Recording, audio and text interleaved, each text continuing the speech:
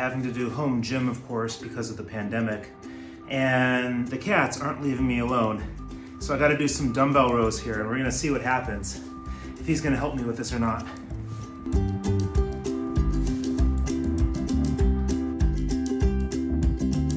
I think I'm getting some of his strength. After the other cat left, this one came too to help me with my dumbbell rows.